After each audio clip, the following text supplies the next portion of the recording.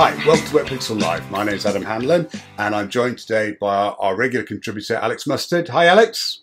Hi, Adam. Nice to be here. Nice, it's nice to see you as always. Have you been diving recently? Um, a, a little bit, not much. I've done quite a bit of snorkeling actually. We went on a family holiday down to see family down in the southwest of England, and I managed a little bit of snorkeling, which was nice, and actually was quite productive photographically. Very cool. Getting in amongst the seaweed and, and shooting it right up at the surface. Yeah, yeah, yeah. Oh, excellent. Um, so, um, what we thought we'd chat about today was um, competitions. Um, competitions are very much a part of the underwater photography scene, if you like. Um, we all enter competitions to win them. Um, and Alex and I thought we might spend a little bit of time discussing some ideas about uh, common mistakes that people make that, that will stop you from winning that big prize. Um, so, Alex, um, what in your experience has been one of the major mistakes that people make with their competition entries?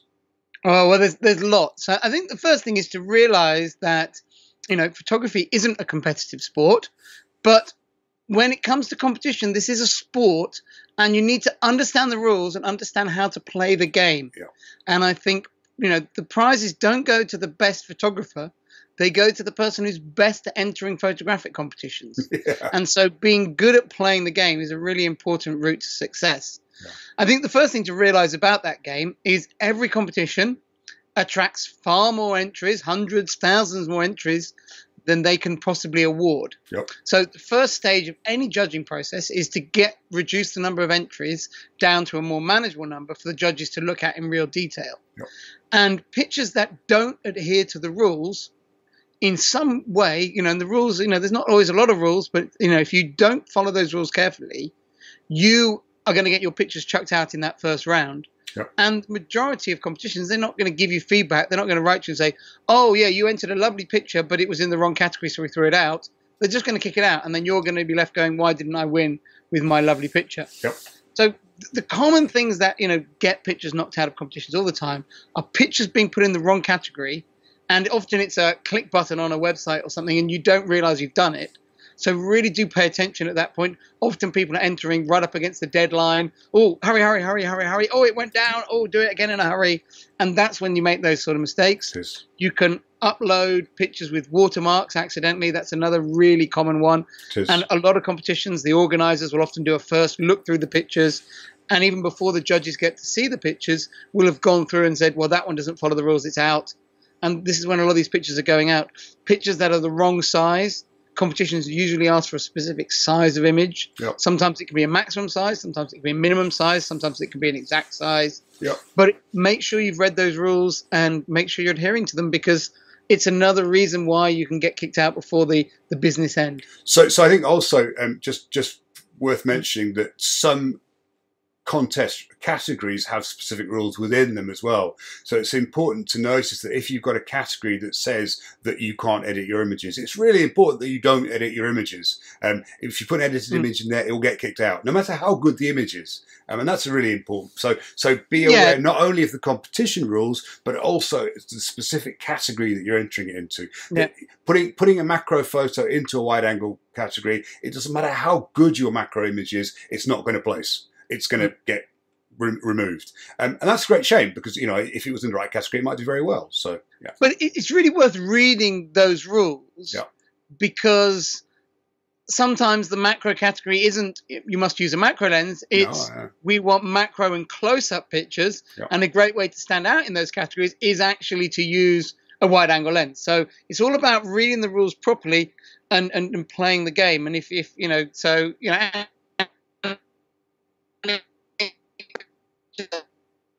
on the rule front, thinking, well, if this does get past the, the technical requirements, it actually is going to really stand out. yep. So, you know, that's the whole playing the game type of thing. Yeah. I can't remember winning playing those tricks, but, you know, it's always worth trying.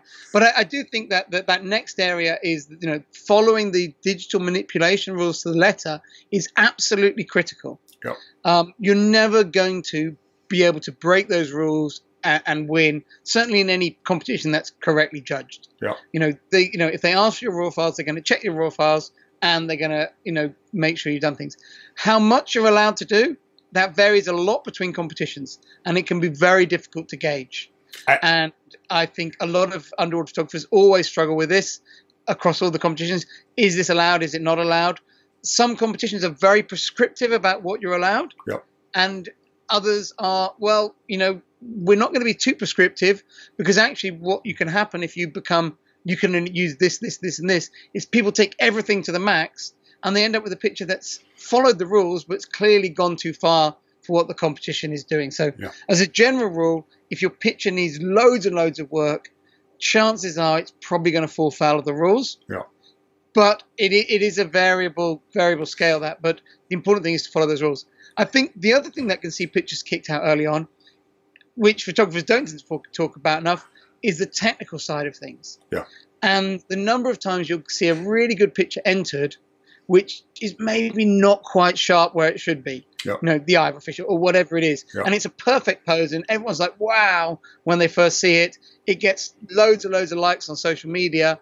But actually, when a competition judge puts it full screen, checks the critical sharpness, it's like, it's not there. Yeah. It's an amazing shot, but it's not there. Yeah. Or it's the same, you know, with with exposure being slightly off, you know, or or the picture's just got too much backscatter to work. Yeah. I think backscatter. Some competitions allow you to remove it all, and that's great. Yeah. Some competitions don't allow you to remove any. Yeah. And if that's the rule, follow it, because everyone's picture is going to have those few specks in. Now, if you've got some snowstorm picture, that's not the competition to enter it in. Yeah. But a few specs are absolutely fine. Um, a lot of black water shots are going to have backscatter in. Yeah. If the competition doesn't allow you to remove it, chances are most of the other competitors are going to have some backscatter too. And if you've got this perfect pose of this amazing creature, it's still going to do well because everyone's going to have some backscatter in those types of shots. And, bear in mind, you you may have a, an amazing picture, beautifully composed, beautifully shot, um, but if, if there's a fin in the corner of it which got captured in the frame, and the and the rules allow you to crop, you should crop that fin out. You know, th- this Mm. is the kind of stuff that that will distract the judges. So so make sure that you know even even if the rules don't allow cropping, then possibly don't enter that particular image or try and find a frame without the fin in it.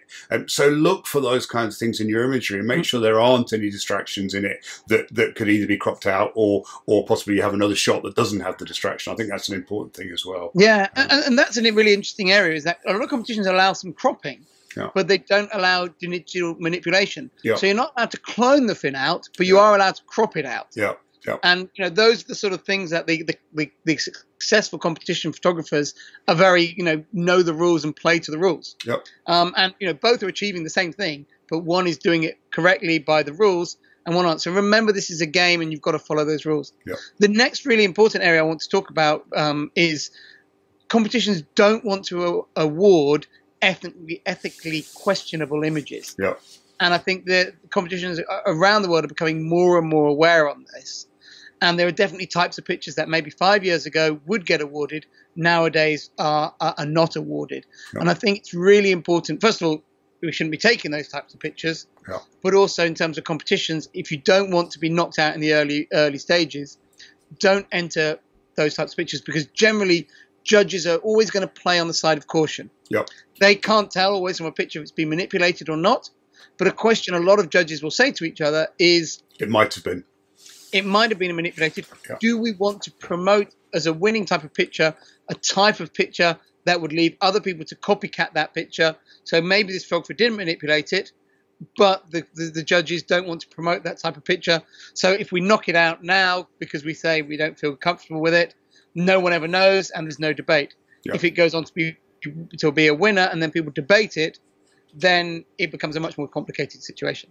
And even if you look back at old competition results and say, well, I've got a shot like that, it was a winner in the past, but maybe it was a bit ethically question- questionable. Remember, sometimes judges do make mistakes Yeah. and they don't want to make mistakes all the time, so they're likely not to award it. The whole argument, well, one of these won in the past is not going to wash. No. And also, I think the, the community has become much more alert to this. So it's important to do it. And I think one of the one of the effects of social media as well is that these subjects are much more openly discussed. Um, Yeah. Um, and you know, in general, ethically dubious images or images that might be ethically dubious, possibly way of describing them, will get picked apart. And unfortunately, we're in a situation where you almost have to prove that it wasn't in order to, and that's very hard to do. So, so if you've got an image that that that may be construed as being ethical, you probably find it won't get awarded. So, um, And that, that's that. I mean, I have to say that there are problems with that as well because you know the, the strange things happen in the ocean, and you know you'll see things that you don't expect to happen. Um, yeah, absolutely. and, and people enter their pictures that are those once in a lifetime Yeah. moments and encounters. Yeah, yeah. You know, I've plenty of times seen frogfish pick up and swim on their own. Yep. Yet I would probably never award a swimming frogfish shot in, a, you know, unless it was a um, sargassum frogfish or something, Yep. in a competition. Yep. Not because maybe you know I know it can happen naturally without them being disturbed, Yep. but I don't want to promote that type of picture as a as a as a type of, of, of winning shot. So it, it does become a little difficult. However, I do think you've got other avenues to use those pictures. Yeah. If you have got pictures, you could publish them in an article and and then Des- explain what's describe it. Yeah, I I think that brings for those pictures. And it's it, it's more remembering that you know competitions is just a part of photography. It's not the whole focus of things. So those pictures.